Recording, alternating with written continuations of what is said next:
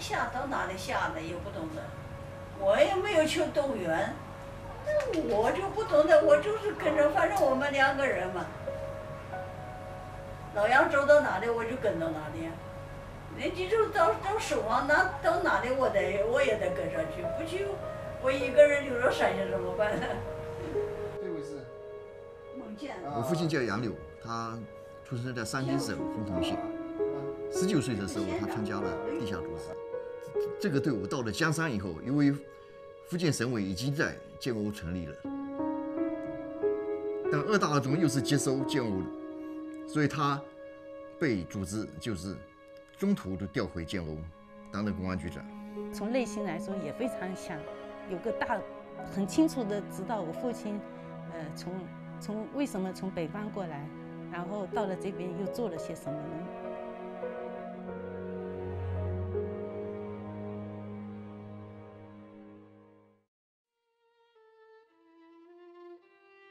一九四九年八月十一日，中共福建省委在建瓯召开会师大会。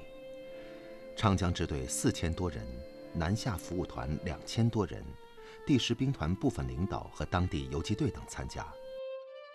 这次大会正式宣布撤销原闽浙赣地下党省委建制。长江支队二三大队迅速去接管建瓯和南平地区。其余各大队随第十兵团去解放福州、泉州、漳州等地，解放一地，接管一地。此时，福建省只有闽北部分县解放，福州、晋江、厦门、漳州等大部分地区还被国民党军占据。长江支队六个大队按照中共福建省委安排，随着福建各地解放进程。翻山越岭，陆续来到各自接管地区。一大队到晋江，二大队到建瓯，三大队到南平，四大队到闽侯，五大队到陇西，六大队到福安地区，参加六个地委、行署和各县区党委政府的组建工作。各地县干部到目的地后，遵照省委指示，与地方党组织会师后。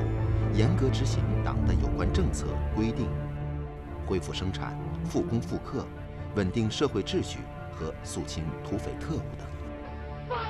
建瓯会师后，一九四九年八月十六日，第三野战军第十兵团司令员叶飞下达了围歼福州国民党守军的命令。八月十七日，第十兵团第二十八、第二十九、第三十一军各一部攻入福州市区。歼灭国民党守军四千六百余人，福州解放。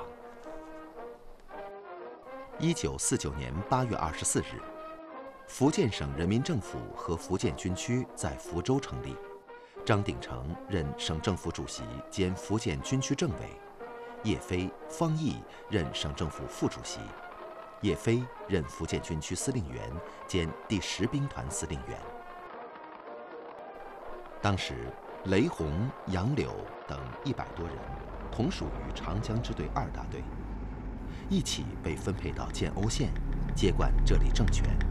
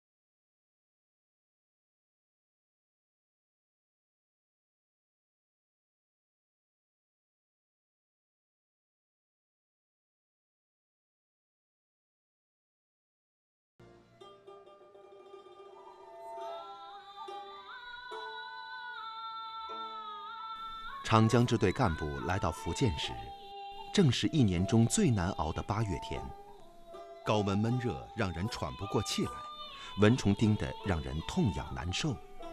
然而，比这些更让他们难受的是当地的语言。福建省是我国方言种类最丰富的省份之一，闽南、闽北、闽东、客家话等不同的方言。就是同为福建人都不容易语言交流，更别说这些初来乍到的北方干部了。语言不通，让他们一筹莫展，迫在眉睫的征粮工作也难以展开。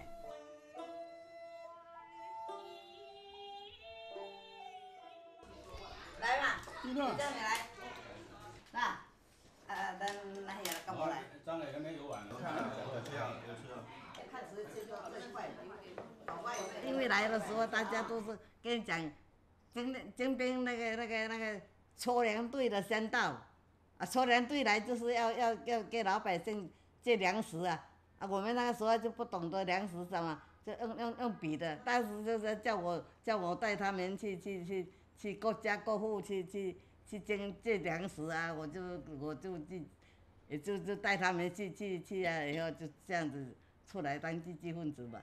那个时候出来工作不多，他看上我了，我很早就看上他了，我很早就他来的时候，我们就是偷偷的跟那些女干部说，那个女那个男的，那个男的很漂亮，那个时候北方人来又白又胖，啊啊，我们南方好像大家都没有这么这么好，所以大家都印象对他很好，所以人家一跟我介绍，我一下子就同意了。我们还没有解放的时候啊。那筹两部部队不是个有个筹两队呀？那筹两队要找翻译啊。嗯，那他是这个呃高校毕业以后就就懂会讲点普通话，就给他当翻译啊。跟着呢，呃筹两队就带着也找翻译。我是看看，哎，这个农村这个少这个少女还可以啊，还不错。后来才知道吧，他对我也有影响。这是我的我的呃大儿子。呃，大女儿，呃，这是二女儿，这这是这个三女儿，呃，我们结婚时照片，这是呃。面对语言不通、土匪滋扰，长江支队干部一边挨家挨户宣传征粮政策，一边找当地中共地下党员和进步学生、青年来帮忙。得到群众积极配合，一批批粮草、弹药被运往前线。征粮之前任务顺利完成。到一九五零年五月，闽南大陆和厦门等重要岛屿获得解放。然而，土匪的数量并没有因为这些地方的解放而减少。一大批危害更大、破坏性更强的土匪出现了。有一种人离台湾太近了，他是都是从台湾派过来。金门啊，台湾金门派过，那个，你你你你你不打他，他要打你。那那时候也，你不出来，他就要要烧群众的房子。那几个这个出来，出来以后呢，跟人家拿去活埋。所以那个那个土匪啊，那是抢抢东西的，他不是抢东西呀，就是对你哪些干部恨之恨之入骨。